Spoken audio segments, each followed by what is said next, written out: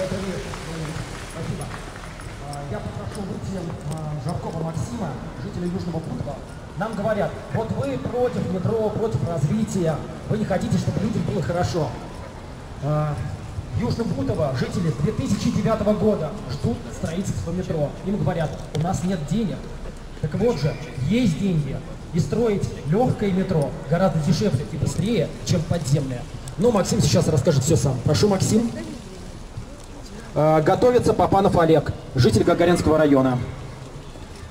Да, спасибо большое, Леон. Э, Я житель Южного Путова, Жарков Максим. Приехал к вам, чтобы рассказать на, вам нашу историю. Собственно, у нас Бутово делится на две части. Одно слева от Варшавского шоссе, другое справа, окруженное областью. И вот в одной части у нас есть метро легкое, э, с тремя вагонами, но все-таки есть возможность людям добираться до работы. А другая, она отделена на 5 километров Варшавским шоссе, и по ней просто невозможно добираться до ближайшей станции метро, невозможно добираться до работы. Если летом путь, хотя мы живем в Москве, да, путь до метро добирает, э, занимает ну максимум полтора часа, то зимой это может быть и 4 часа в пробке. Если происходит авария, автобусы просто категорически не идут. Мы можем дождаться, ну, бесконечное время, то есть никак не попасть ни на рабочее свое место, никак не э, попасть в магазины, в развлекательные центры, которых у нас не строят. Почему это происходит? Потому что развивать наш район властям невыгодно.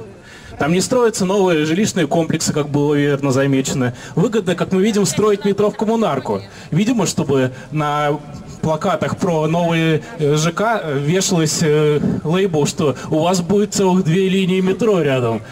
Ну дайте нам, пожалуйста, хотя бы одно. Дайте нам э, то метро, которое нам нужно. Не стройте его там, где оно просто мешает и может разрушить дома жилые людей. Спасибо. Спасибо, это Максим Жарков, житель э, района Южный Бутово. Олег, прошу. Сейчас. А, готовится Татьяна Редькина. Татьяна, вы здесь? Хорошо. Здравствуйте. Большое спасибо, что вы пришли сегодня сюда. Я хочу сказать про 79-й дом, в котором вот я всю жизнь живу, я родился, и рядом с которым непосредственно планируют построить станцию улицы строителей. И я хочу сказать, вот здесь была уже поднята тема о доверии к проектировщикам. Они нам рассказывают, что мы им должны поверить. Вот у меня есть некоторые сомнения. Три сомнения, которыми я хочу с вами поделиться. Сомнение номер раз. Они впихнули станцию улицы Строителей между 81 79 и 77 домом. 79 дом прямо посередине стоит этой станции. Мне очень интересно, о чем думали эти люди, когда планировали станцию улицы Строителей с выходами около дома на Ленинском проспекте, у которого практически у единственного есть жилые квартиры на первом этаже с выходом на Ленинский проспект. Вот о чем они думали, что у них в голове происходило? Они замуровать их хотели, чтобы они под эскалатором там жили. То есть не просто идет нарушение прав людей, людям реально будет угрожать жизнь. Как, как они там должны будут жить в этом шуме, в этой пыли, под эскалатором? Они нашли дом, у которого жилые квартиры уходят на Ленинский. Э, другие дома там до, до второго этажа все нежилые помещения. Единственный дом нашли и впихнули туда улицу строителей метро. Молодцы, в общем, подумали о людях. Либо это халтура, либо это... Либо они там не живут, либо проектировщики не живут в этом, и о людях можно не думать. Это первый, первое мое сомнение. Второе мое сомнение. Вот в нашем доме 79-м говорим конкретно – это не только к нашему дому относится, к ближайшим домам это тоже относится. Но так как я живу в 79-м доме, я говорю конкретно о 79-м доме. Рядом с третьим подъездом ребята наши пробили подвал, пробили фундамент здания, сделали сквозной проход со двора на Ленинский. Этого не было в доме. То есть пробита несущая конструкция здания, пробит фундамент, пробита э, стена, все пробито. Слушайте, как они проверяли э, сохранность нашего дома, прочностные характеристики нашего дома, если никого из них не было на нашем доме? То есть у нас есть факт поврежденного здания. Это пробито под швом здания. Это самое уязвимое место многоквартирного дома. Никто нам фундамент не проверял. Никто его не укреплял. Вопрос об этом даже не обсуждается. Ни один фундамент не проверен по трассировке маршрута. Это что, проектировщики? Они о чем думают? Это халтура? Или это у них умысел какой-то? Что они не знают, в каком состоянии дома находятся. И третье мое возражение. Вот есть известный факт. 77 и 79 дома по Ленинскому проспекту. Они находятся на болоте. Можно посмотреть документы. Карту Мосгеотреста. Там это болото большое, нарисовано, обозначено. У нас есть Семеновский пруд, там уточки плавают. Можно сходить туда, посмотреть. Это вот кусок, оставшийся от этого огромного болота. Вот я еще раз хочу понять, что происходит в головах у этих проектировщиков, когда они смотрят на карту, находят самое большое болото, и на этом болоте планируют станцию метро улиц строителей. Я специально посмотрел карту архивную. На всей трассировке нету больше такого болота. Там нету болота. Они нашли болото и спроектировали там станцию ультстроителей. Вот это еще вопрос. Это халтура или это умысел? Умысел. Поэтому вот как можно доверять людям, как можно доверять проектировщикам, которые наплевали на людей, которые живут и будут жить по эскалаторам, которые живут на первых этажах, и окна которых будут выходить прямо в середину стройки. Как можно доверять проектировщикам, которые ничего не знают о жилищном э, фонде, рядом с которым они строят пробитом, изуродованном, уже подвергнутом беспредельной, беспредельной эксплуатации, который по многим домам у нас эта ситуация. Подвалы украдены, и входы пробиты, фундаменты повреждены. Да. И которые впихнули в самое уязвимое место на карте станцию метро Ульстратиль. Ну как им можно доверять? Мне кажется, им доверять нельзя. Как вы считаете? Конечно, нельзя. Спасибо. Вот я хотел поэтому обратиться к депутату Московской э, городской думы и депутату Государственной Думы с предложением внести в резолюцию следующее указание, что строительство станции метро улица Строителей, которая будет рядом с 81-м, 79-м и 77-м домом, напрямую угрожает сохранности этих домов. Все, спасибо. Спасибо. Сейчас выходите. Уважаемые соседи и друзья, то, что говорил Папанов Олег Алексеевич, совершенная правда. Я Махаша Ваха Тайпич, житель дома 79, квартира 68, первый этаж, окна которой выходят только на Ленинский проспект. Рядом со мной находится такая же квартира, тоже выходит на Ленинский проспект. Это третий подъезд. Окна наших квартир во двор не выходят. Это правда. Теперь по поводу пробитых стен. 2007 год, примерно июль, то есть 13 лет назад, я на тот момент старший помощник Зюзинского межрайонного прокурора города Москвы. Я в выходной день вдруг вижу, что пробивают стену, но не подо мной, а под тем самым соседом, который живет в 67-й квартире. Мне звонят, кто не помню, и говорят, Ваха Тайпевич, вы известный человек, уважаемый, как вы позволяете?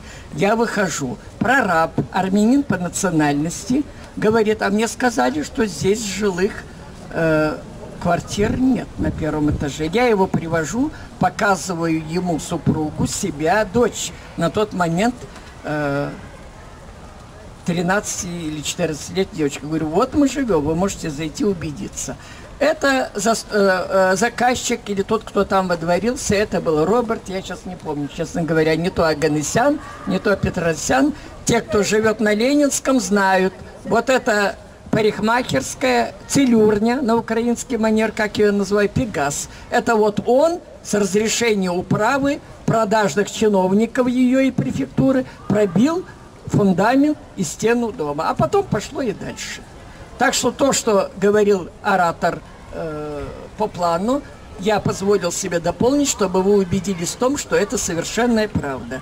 Ч э, четыре окна, две квартиры жилые на первом этаже, в третьем подъезде Ленинского проспекта, дом 79, выходят как раз вот на эту самую стройку и больше никуда. Спасибо вам большое. Спасибо. Спасибо. Да. Спасибо. Татьяна, прошу вас. Здравствуйте, меня зовут Татьяна Редькина, я живу на Дмитрия Ульянова 4. А, я хочу немножко вернуться к самому проекту, который, когда мы увидели, мы по поводу этого проекта задавали самые разные вопросы. Э, я хочу остановиться на теме почему, собственно, мы с самого начала спрашивали, почему метро строится самым негуманным способом, а именно открытым способом. То есть открытые котлованы, мелкое залегание, много рисков. В общем-то, уже нигде в мире э, в старой застройке таким способом метро не строится. И, в общем-то, ничего вразумительного мы не получали в ответ, кроме того, что это дешево. То есть приходит застройщик, выигрывает тендер, говорит, я по самой низкой цене вам берусь построить, получает прибыль. А все риски ложатся на местных жителей. То есть мы с вами будем платить э, по всем неустойкам, которые могут иметь место.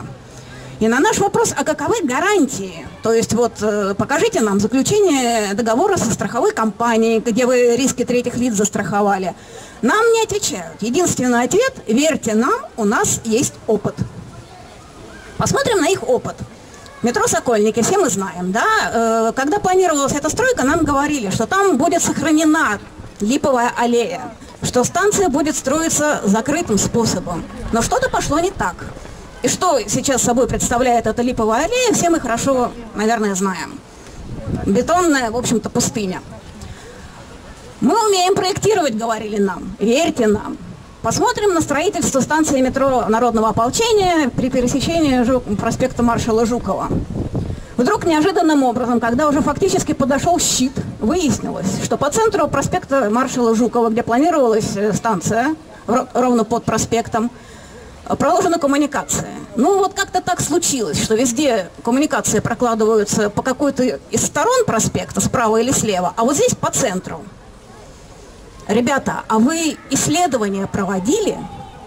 Как результат, станцию метро, конечно, перенесли чуть-чуть вперед, но при этом срочным образом выселили четыре дома. За полгода, в июле было собрано совещание местной управе, перед Новым годом все жители были выселены. Среди этих домов, конечно, были и пятиэтажки, которые вошли в реновацию и морально были готовы к выселению, хотя и не так срочно. Но хороший, качественный, прочный, блочный девятиэтажный дом – он, в общем-то, люди были просто вышвырнуты из своих квартир и очень быстро.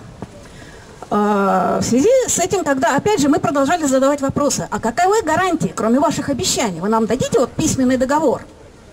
Нам говорили, ну, в общем, верьте нам. В связи с этим у меня большая просьба к вам, Денис Андреевич. Мы вот тут написали такое предложение о внесении изменений в градостроительный кодекс Российской Федерации – о финансовой ответственности застройщика перед э, жителями и собственниками района э, на период этой самой стройки. Если можно, я зачитаю просто, чтобы не пропустить важное.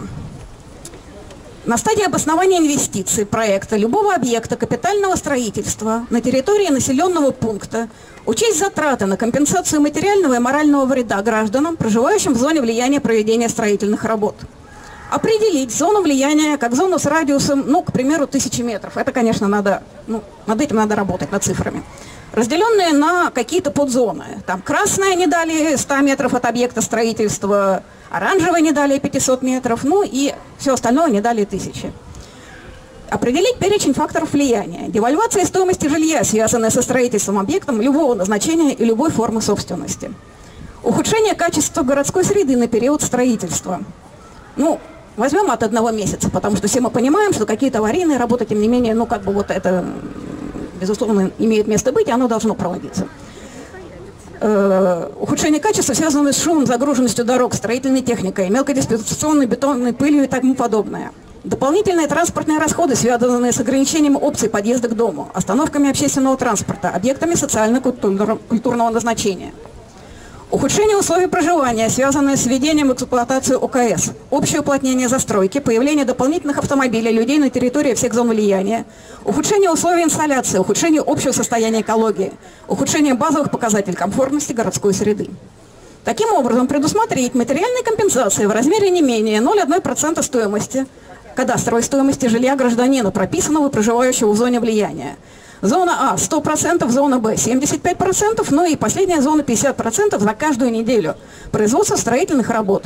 И 10% от кадастровой стоимости жилья гражданина, определенной до начала строительства объекта, единовременно после ввода объекта в эксплуатацию. Я отдам вам эту бумагу. Э, э, нам кажется, что в данном случае, если все эти компенсации, а точнее назовем вещи своими именами, мы с вами будем платить по всем рискам. Так вот, если за эти риски будет строить застройщик, будет платить застройщик и проектировщик, и будет их включать в расчет стоимости, то строительство безопасного метро глубокого заложения, может быть, уже не окажется таким дорогим по сравнению с варварским строительством открытого заложения. Спасибо. Спасибо, Татьяна. А, Друзья, приглашается житель района а, Нагатина Калинчев Сергей. Сергей как раз и расскажет то, чем столкнулся он и его соседи в связи с строительством станции метро а, Кленовый бульвар. Правильно? Правильно, да. Здравствуйте. А, Я Сергей из Нагатина. Я приехал, чтобы как раз э, тоже обратить внимание на проблемы нашего района, чтобы КПРФ тоже нам помогла. У нас в Нагатино строят э, большую кольцевую линию, две станции, Нагатинский затон и Кленовый бульвар. Кроме того, у нас сейчас э, уже хотят э, начать строить э, э, в нашем районе э, Бирюлевскую линию метро. От, моего дома до котлована э, 20 метров. Вот. Я вам хочу рассказать, каким образом строят метро. Мы это уже на себе ощутили. Есть такая технология, которую сейчас применяют, называется стена в грунте. То есть сначала приезжает а, гидрофреза, которая делает, э, грубо говоря, канаву в грунте. Она работает и днем, и ночью. Когда она работает, весь дом трясется. Буквально э, тарелки звенят э, очень жутко. Работает она и днем и ночью. Закон о тишине не соблюдается. Потом, уже после того, как э, э, в эту емкость заливает бетон, они начинают снимать э, отбойными молотками где-то порядка полуметра бетона. И это тоже шум постоянный. А, Дом соседний с, с моим домом, Кленовый 25, уже дал осадку 9 миллиметров. Нам говорят, это все, говорит, ерунда. Да, предельно 30 миллиметров. Вот. Говорит, если какие-то начнутся проблемы, мы начнем принимать меры. А, Когда мы еще начинали э, нашу деятельность, мы писали э, письма в различные организации, мы получили замечательное письмо из Департамента строительства Москвы. Суть так, э, письма в том, что говорит, вы не волнуйтесь, если ваши дома получат повреждения, мы вас переселим. Вот. А мы не хотим переселяться, понимаете? Мы хотим жить в нашем, нам нравится наш район, мы не хотим э, ни- никуда переезжать. Поэтому нужно бороться, не- не- нельзя успокаиваться, э, нужно бороться дальше. Все, всем привет. Большое спасибо, Сергей. Как раз жители э, района Гатина непосредственно и столкнулись с тем ужасшай- ужасающим лицемерием от чиновников правительства Москвы. Я хочу пригласить Ефремову Ирину, жителя района Академический, готовится э, Ирина Лобань. Ирина, прошу вас. А, Добрый вечер. А, Меня зовут Ирина Ефремова. Я ваша соседка из Академического района. Живу на улице Большая Черемушкинская, дом 2, корпус 6. И в непосредственной близости от моего дома будет проходить конечная станция Кванарской ветки. Планируется. Спасибо за поправку. А, э, с пересадкой на станцию Московского центрального кольца Крымской. Конечно, я когда узнала об этом, я была в ужасе от того, что вообще планируют э, сделать с нашим прекрасным зеленым уютным районом. А, знаете, многие чиновники обвиняют, обвиняют нас в эгоизме, что данный проект, по их словам, э, очень необходим жителям Коммунарки и Троицка в дальнейшем э, которые смогут быстрее добираться до Москвы, там, где они учатся, работают. И поэтому у меня родилась, на мой взгляд, э, замечательная идея. А давайте направим вот те э, 69 миллиардов рублей, выделенные на данный проект, э, направим их на развитие социальной инфраструктуры Троицка и Коммунарки. А, обеспечим людей рабочими местами, построим больницы, бизнес-центры, магазины, поликлиники И таким образом жители Коммунарки и Троицка смогут э, ходить на работу и на учебу рядом с домом. Им не придется каждый день ездить до Севастопольского проспекта. Скажите, соседи, я прошу поднять руки, кто за то, чтобы направить на развитие коммунарки и Троицка? Ну вот, я вижу практически единогласно. Спасибо. А, еще добавлю, что изначально планировалась улица Новаторов – а, которая соединяется с большой кольцевой линией э, конечной станции. А остальное, на мой взгляд, это бессмысленный аппендикс. И единственные, кто в нем заинтересован, это чиновники. Поэтому да, возможно, мы проявляем эгоизм, но только по отношению к чиновникам, а не по отношению э, к, жителю, к жителям Коммунарки и Троицка. Поэтому прошу меня поддержать и требовать от правительства направить 69 миллиардов на развитие социальной инфраструктуры коммунарки Троицка. Спасибо. С вами была житель Академического района Ирина Ефремова. Спасибо, Ирина. Я прошу подойти Ирину Георгиевну Лобань да, и готовится Татьяна Ивановна Десятого. Добрый день, дорогие соседи, друзья. Я житель э, Ломоносовский, 23, это около метро «Университет». Я хочу две, одну минутку напомнить вам, что в шестом году около метро «Университет» затевалось грандиозное строительство торгово-развлекательного центра с 790 тысяч э, машиномест. Жители 23-го дома по Ломоносовскому встали на защиту площади у метро «Университет», обратились по фракцию КПРФ и с тех пор, до сих пор мы защищаем площадь от застройки. Вот вы говорили о застройщиках. Да, они никуда не уходят. Нам предлагали вы переселиться из этого дома. Мало того, при принятии генплана в 2010 году 5 мая было поставлено застройщикам условие. Значит, э, площадь у метро «Университет» будет транспортно-пересадочным узлом – да, застройщик уходит, но дом 23 по Ломоносовскому идет на снос, и вместо него будет тот торгово-развлекательный центр, который хотел строить у метро «Университет». Сегодня 20 год, но борьба продолжается. До сих пор на станции метро «Университет» нет таблички, что это памятник архитектуры. Почему? Мы не знаем. С фракцией КПРФ мы все время работаем. Жители работают постоянно с фракцией. Эта площадь стоит благодаря фракции КПРФ в Государственной Московской городской думе. Это я вам говорю не из-за того, что делаю рекламу. Я говорю о том, что это была планомерная работа жителей с э, депутатами Московской городской думы. У них много забот, много районов, много проблем. Но если жители упорные, они готовы и ночью приезжать к нам и защищать. Вот тот садик, который вы сейчас видите, у метро «Университет», он защищался палатками. Мы разбивали палатки, чтобы нам его не срубили. И то у остановок у Ломоносовского вырубили большие вот такие вековые деревья. Вы видите это. И сейчас я хотела обратиться к э, муниципальным депутатам Гагаринского района. Вот у меня распечатка о том, что будет благоустройство этой площади. На самом деле есть проект. Проект 4 года назад там был с э, машиномест, машиномест давали 1690 под землю и до четвертого этажа, вот дома рядом 23, в котором я живу. Значит, э, сейчас говорят, что будет благоустройство. И уважаемые депутаты Гагаринского района, муниципальный, будьте осторожнее, когда вы пишете пустыри у метро Южного, наш южный, у юго-западе выход, а там э, северный. Будьте аккуратнее. Вот эти пустыри, как раньше площадь Живахарала-Ранеру, сыграла огромную роль в проекте. И мы никак не могли доказать. И благодаря только фракции КПРФ, тогда депутатом Клычков занимался этой площадью, э, сейчас он губернатор Орловской области, мы сняли табличку, которая висела на соседнем доме.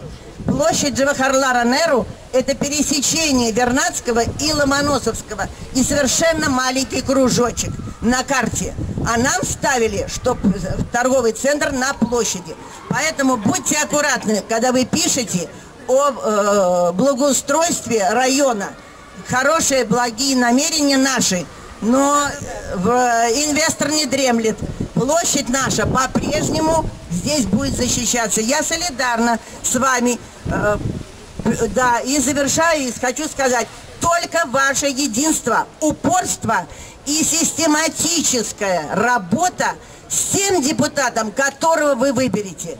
Пусть это будет любая фракция, но вы должны работать планово и систематически. Они должны знать вас и вы. И тогда ночью вам не страшно будет ни метр приезжающий копать вам что-то. Не будет никого около ваших домов. Я желаю всем нам победить. Ура! Спасибо. Сейчас начинается дождь, поэтому, знаете, будь я представителем Коммунистической партии Советского Союза, я бы сказала, что с чувством глубокого удовлетворения отмечаем, что встреча прошла на высоком идейно-организационном уровне. На самом деле, товарищи, действительно, встреча у нас получилась с вами замечательная. Ну, во-первых, подняли, значит, актуальнейшую проблему. Во-вторых, вы увидели, что вот коммунисты это совершенно нормальные люди. Когда вот вам говорят, там, что ты там все старые, там такие, вы видите, абсолютно нормальные люди, активные, болеющие за э, те же самые проблемы, что и вы. Что здесь, вот, например, находится первый старь э, Октябрьского райкома э, КПРФ Лена Корчагин. Я первый секретарь Севастопольского райкома КПРФ, который здесь рядом. Мы вернулись к нашей советской системе. Но вообще хочу сказать, что коммунисты, они есть. Они есть в Москве, есть в России, есть во всем мире. Я просто волей судеб занимаюсь международными вопросами солидарности в нашей партии. Вы знаете, больше 150 партий во всем мире. И посмотрите, каких успехов потихонечку-потихонечку добиваются. Поэтому вот недавно мы отметили, например, 105-летие со дня рождения Компартии Чили. Кто помнит лозунг чилийских коммунистов? Пока мы едины, мы не победим. Вот на этой оптимистичной ноте. Спасибо. Большое спасибо, друзья. Э, Денис Андреевич. Денис Андреевич. Да. Да, уважаемые друзья, поскольку действительно погодка начинает хмуриться, есть предложение нам э, завершать. Подготовлен текст заявления участников встречи. Мы сейчас тогда попросим э, Ливона Смирнова его быстренько озвучить. Затем, если вы его поддержите, то это ляжет в основу всех наших дальнейших действий. Будем считать, что это ваш наказ. Пожалуйста, Ливон. Заявление участников встречи жителей наших районов с депутатом Государственной Думы э, за прекращение строительства новой линии метро на участке да. На участке улицы Новаторов до станции Севастопольский проспект. Мы, жители районов Академический, Гагаринский, Ломоносовский и других районов Юзава, выступаем категорически против строительства линии метрополитена на участке от станции улицы Новаторов до станции Севастопольский проспект и сопутствующих работ на Ленинском проспекте. Во-первых, Данные районы хорошо обеспечены транспортом. Еще одна линия метро здесь избыточна. Во-вторых, эти районы с давно сложившейся застройкой любое масштабное строительство на Ленинском проспекте несет колоссальные неудобства. Организуя это строительство, власти города Москвы грубо нарушили генеральный план города Москвы и существующие строительные нормы. Публичные слушания были сфальсифицированы. Правительство Москвы проигнорировало волю жителей, выраженную на предыдущих встречах по этой теме с депутатами Рашкиным и Парфеновым, а также на митинге 15 марта. Мы не можем смириться с продолжением этого незаконного строительства. Мы требуем отменить постановление правительства Москвы от 14 января 2020 года, отказаться от реализации строительства линии метрополитена, как противоречащего генеральному плану Москвы и нарушающему интересы жителей, прекратить незаконные работы по переносу коммуникации на Ленинском проспекте, проводить все публичные слушания только в очном формате, прекратить практику реализации проектов, фактически проваленных на публичных слушаниях. Мы призываем депутатов Московской городской думы, избранных от оппозиции, поддержать наши требования и оказать воздействие на правительство Москвы с целью прекратить строительство данной линии метрополитена. Просим организовать в стенах Московской городской думы и Государственной думы круглые столы с целью широкого информирования государственных органов и общественности о многочисленных нарушениях, которыми сопровождается данное строительство. Спасибо. А, с учетом тех двух предложений, которые поступили во время выступлений, а, есть предложение поддержать данное заявление участников. Кто за, прошу проголосовать поднятием руки. Спасибо. Если те, кто против, Воздержались. Все, тогда будем считать, что принимается единогласно. Значит, это будет ваш, нам, наказ для дальнейшей работы. Значит, спасибо большое за всем, кто пришел, кто отстоял до самого конца. Поверьте мне, это, видимо, не последняя далеко будет, так или иначе, встречи и мероприятия, которые потребуют вашего участия, настойчивости, солидарность в данном случае. Это залог того, что власти будут вынуждены прислушиваться к мнению жителей. Спасибо еще раз, спасибо вам, спасибо... Э сотрудникам полиции, которые обеспечили безопасность. Сегодня с вами были представители коммунистической партии, муниципальные депутаты Левон Смирнов, Елена Селькова, депутат Московской городской думы Елена Янчук и депутат Государственной думы Денис Андреевич Парфенов. Спасибо вам, всего вам доброго, Спасибо, до новых встреч, до свидания. Спасибо вам! Костян, нас сфоткай, пожалуйста, с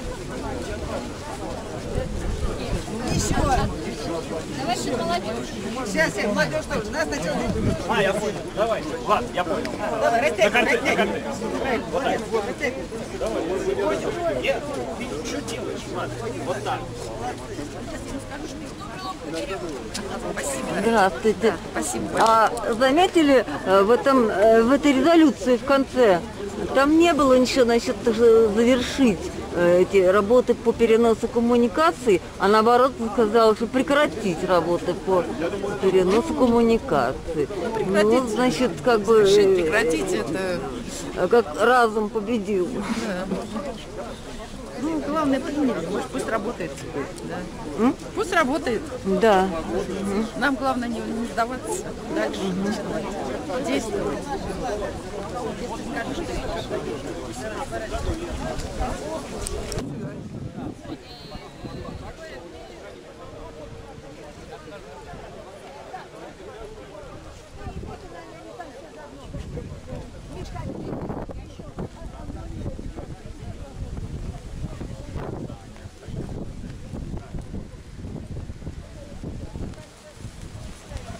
Когда была заминка, перед тем, как проде- продекламировали, когда мы едины, мы непобедимы, у меня было сильное желание сказать это по-испански.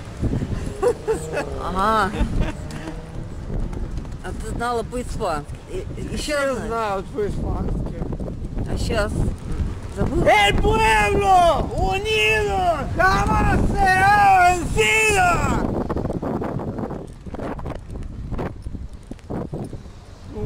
da Fuga é bom.